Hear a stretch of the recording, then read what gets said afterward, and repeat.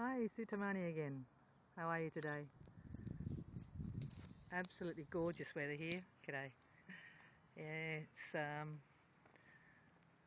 early August, midwinter here in Australia, but you'd never know it. um, the other day I told you a story about one of the most magical things that ever happened in my life, and it was the story of how a lot of things happened, a lot of coincidences happened uh, that led to me meeting my husband in Fiji. While I was, I mentioned that the story of, of him having three sons from his first marriage. They're all living in Australia now, and a daughter. Um, and I wanted to tell you the story about this daughter and a few of the coincidences that happened in her life that I found just totally amazing. Um, she was born um, to another woman out of wedlock, and she's about the age of my husband's middle son. And Frank, my husband, knew that she was born because the mother took him to court for um, child support. But at that time, Frank wasn't working, he was living on a farm. So nothing proceeded with that. So he lost touch, completely lost touch with um, the mother and the daughter. And um, he had told me about her. The family knew about her, the daughter, um, but no one had had any contact with her for a long, long time. Anyway, in 2003, we went to Fiji. We actually sold our properties, two properties we had here on the Gold Coast. I took 12 months leave from my job, unpaid leave, and we went to Fiji to live for a year uh, to start with, and also to set up some businesses over there, intending to uh, to live in Fiji the majority of the time. So that was fine. We got there and we bought a house and we bought a farm and we were having a fantastic time and we were supporting his parents. The main reason that we went was because of Frank's parents. My, both of my parents had died the two years before and he wanted to spend some time with his parents who were aging. So, about halfway through the year, I, I can't remember the exact date, Frank's phone rang. His mobile phone rang. And he when he told me this, he said, This is exactly what happened on the phone. And this voice said, Hello, Dad, do you know who I am? And Frank said, Yes, I do. And at the time, she was 20. And uh, somehow she'd found Frank's phone number through one of Frank's brothers. And uh, Frank said, Where are you? And she said, Oh, I'm on the bus coming from Lautoka. And he said, What time do you get into Suva? And she told him the rough time. He said, Okay, I'll pick you up.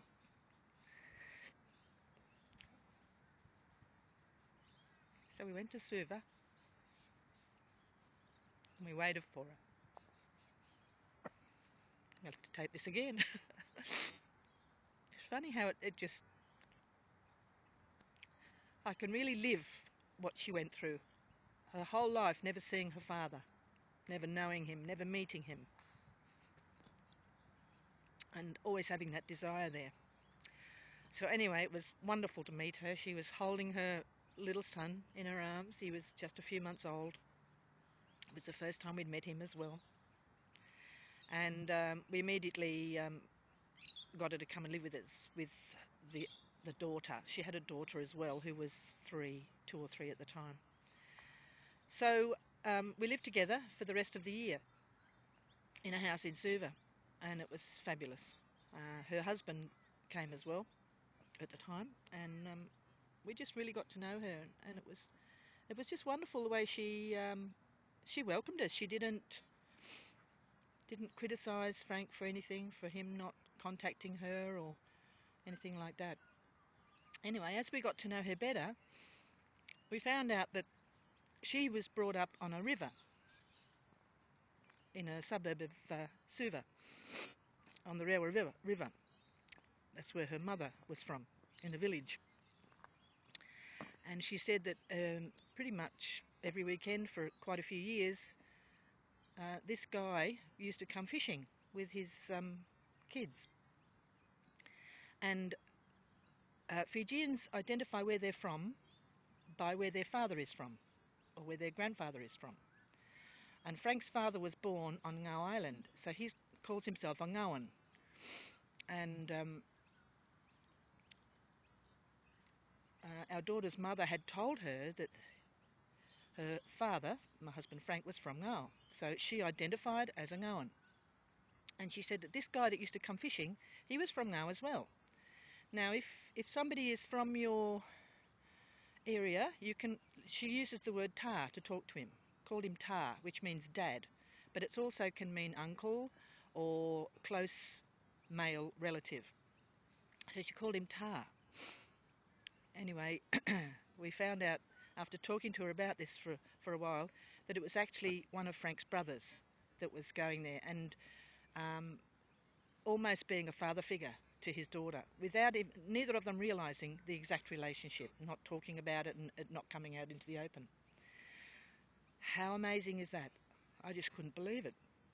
So once um, our daughter met um, the uncle's children, they knew one another immediately because they'd been together as children. And they were actually real first cousins. Isn't that a wonderful story? Oh, even, I mean, I've known this story now for um, 10 years because we met her when she was 20 and what is she, she's 31 now, 11 years. And I still get emotional every time I think about it. Anyway, so there's now a daughter and three grandchildren all living in Fiji that we have to go back to and visit and stay with, which is wonderful. Um, we're so happy that she's part of our life.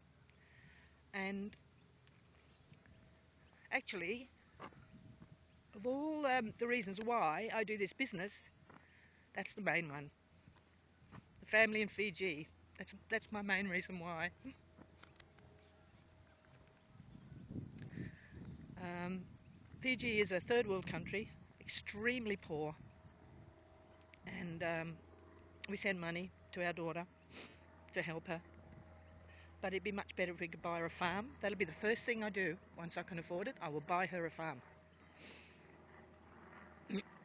that's why I'm working so hard with the Empower Network. So, what's your why? You got a why?